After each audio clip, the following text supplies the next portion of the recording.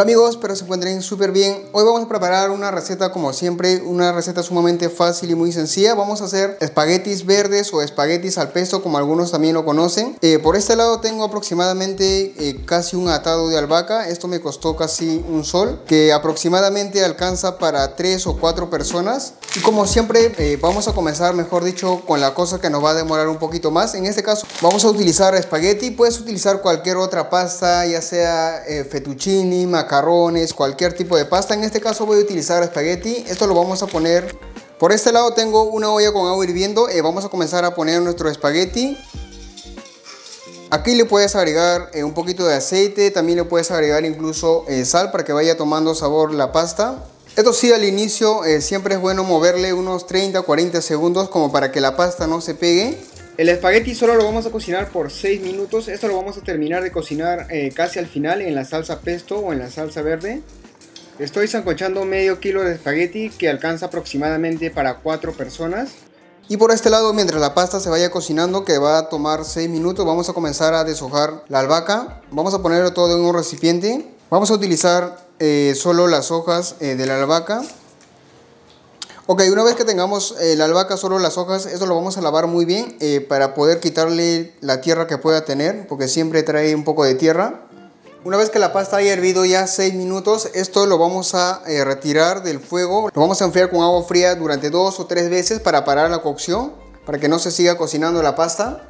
Por este lado tengo una cacerola con agua hirviendo. Vamos a comenzar a blanquear la espinaca por un minuto. El motivo de por qué lo blanqueo la espinaca es que si yo lo licúo de manera directo así en la licuadora crudo, esto tiende a oxidarse, a ponerse oscuro, a ponerse un poco eh, oscuro la salsa. Y no queremos que la pasta salga color oscuro, queremos que salga verde. Por eso muy recomendable siempre si hagan este tipo de preparación con la albahaca, siempre hay que blanquearle. La albahaca se blanquea durante 40 segundos a un minuto. De esta manera la albahaca cuando lo licúas eh, ya no se va a poner oscuro, ya no se va a oxidar. Te va a quedar bien verde para el, para el pesto o, para cualquier otra preparación que hagas. Una vez haya pasado ese tiempo, vamos a comenzar a escurrirlo, lo vamos a enfriar con agua fría. Eh, también lo que recomiendo es separar, reservar un poquito del agua de la albahaca para poderlo licuar. Eh, también tiene sabor y el aroma que suelta la albahaca. Ahora sí, por este lado ya tenemos ya la albahaca escurrida, eh, ya está un poco frío. Vamos a ponerlo en el vaso de la licuadora para poderlo licuar muy bien. De hecho hay muchos estilos, hay personas que le saltean. También es válido esas recetas. Esta receta es a mi estilo.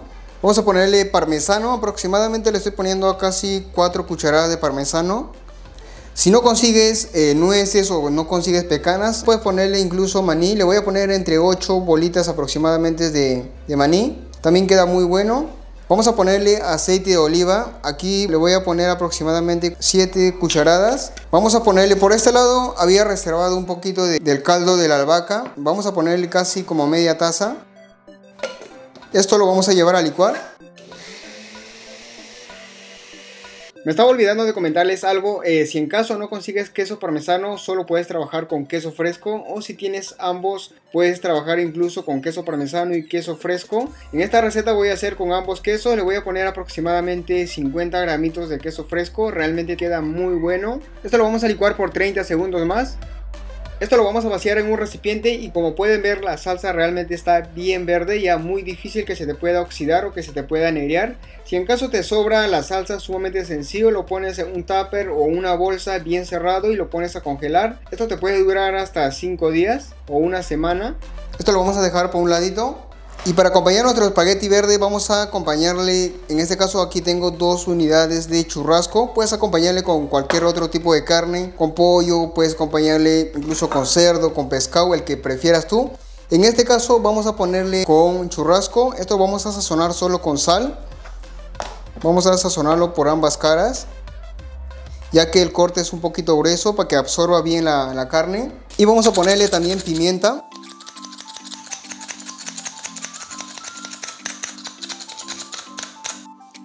Ok, la pasta eh, vamos a acompañar también con, esto sí es opcional ya, es a gusto de cada uno. En mi caso le voy a acompañar, vamos a hacer una huancaína sumamente sencilla y muy fácil. Vamos a utilizar tres unidades de ají amarillo, eh, cebolla y un diente de ajos. El ají amarillo vamos a comenzar a limpiarlo muy bien. De hecho, hay muchas técnicas de cómo limpiar ají amarillo. Hay personas que lo sacan con cuchara, algunos cortan de esta manera, pero de esta manera se me hace más práctico.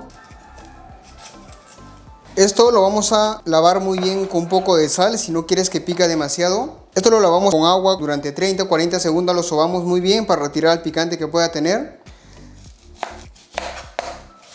Y de cebolla solo voy a utilizar una cuarta parte, solo un diente de ajos.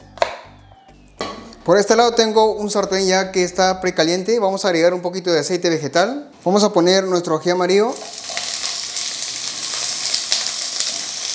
la cebolla y vamos a ponerle el diente de ajos. Esto lo vamos a saltear solo por un minuto a dos minutos, que es una cosa sumamente fácil y muy sencillo. Siempre hay que estar moviendo porque para evitar que se pueda quemar, porque no queremos que la huancaína salga oscuro. Listo, en este punto ya está. Esto lo vamos a vaciar directo en el vaso de la licuadora para poderlo licuar muy bien. Vamos a ponerle queso fresco, aproximadamente 50-60 gramos. Galleta soda, unos 4 cuadraditos. Vamos a condimentarle con un poquito de sal. La sal sí es recomendable ponerle de poco en poco. Vamos a ponerle un poquito de leche fresca, no, leche en tarro, perdón. Aproximadamente un cuarto de vaso. Esto lo vamos a tapar muy bien y lo vamos a llevar a licuar. En este punto vamos a comenzar a rectificar. Si en caso está demasiado aguado, vamos a ponerle un poquito más de galleta. Le falta un poquito más de sal. Una vez hayamos licuado muy bien, lo que sí recomiendo siempre es pasarle por colador para retirar toda eh, la piel que tiene el ají amarillo. De hecho, no es muy agradable comer de esa manera. Esto es la parte de la piel que de hecho cuando lo comes se te pega entre los dientes y no es muy agradable, por eso siempre es bueno pasarle por colador. De hecho que no te va a demorar mucho tiempo. Listo, ya tenemos ya nuestra huancaína para poder acompañar. Ahora sí vamos a comenzar a preparar. Eh, acá tengo una parrilla ya que está precalentado. Lo calentamos aproximadamente 1 o 2 minutos. Aquí voy a poner la carne. Si deseas también lo puedes hacer en un sartén. No hay ningún problema. Vamos a agregar un poquito de aceite. En este punto cuando está humeando vamos a poner eh, nuestro churrasco. Vamos a ponerle también unos dientes de ajos. Eh, esto simplemente está aplastado. Esto aporta mucho sabor. Unas ramitas de romero. Muy bueno para la carne. Esto lo vamos a cocinar aproximadamente de 3 minutos a 4 minutos por lado. Eh, va a depender mucho de qué tan grueso es la carne. Ahora sí, mientras la carne se vaya cocinando en la parrilla, vamos a comenzar a hacer la salsa pesto. Eh, vamos a ponerle aproximadamente media cucharada de mantequilla, mantequilla, margarina, el que tengas en casa. Casi media cucharadita también de ajos en pasta, ajos en polvo, ajos picados, el que tengas en casa de igual manera. Esto lo vamos a cocinar durante 30 o 40 segundos. En este punto vamos a agregar nuestra salsa pesto ya que está licuada. Le voy a poner aproximadamente 3 cucharones. De hecho nos va a sobrar casi la mitad. Vamos a agregarle leche fresca. Esto sí le vamos a agregar de poco en poco. Le voy a poner también leche en tarro. Si tienes crema de leche también le puedes poner, queda muy bueno. Pero en este caso le voy a preparar solo con estos dos ingredientes. Vamos a sazonar. La sal vamos a agregar de poco en poco, siempre probando para no pasarse. Esto lo vamos a cocinar aproximadamente 30 40 segundos ya que la albahaca ya está completamente bien cocido.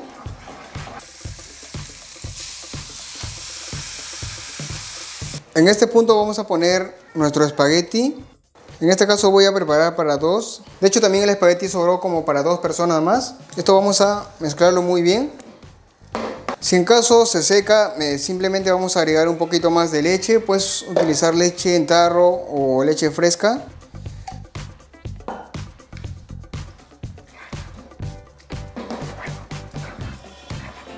Vamos a ponerle también un poco más de queso parmesano rallado o si no le puedes poner queso fresco también.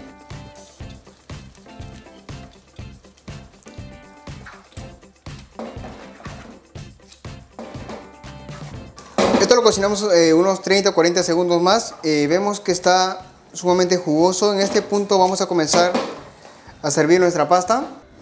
Por este lado tengo un plato y vamos a comenzar a servir. Vamos a poner por un ladito el churrasco.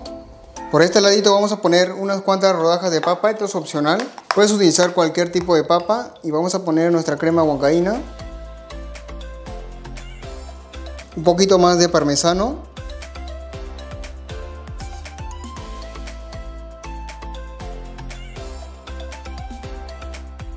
Como siempre amigos, gracias por ver nuestro video. Espero que les haya gustado la receta sumamente fácil y muy sencillo de hacer en casa. Ya sabes que si no estás suscrito al canal, te puedes suscribir. Es totalmente gratis. Activa la campanita para notificarte cada vez que subamos un video nuevo. Cuídense y nos vemos en unos días con video nuevo. Chau, fa.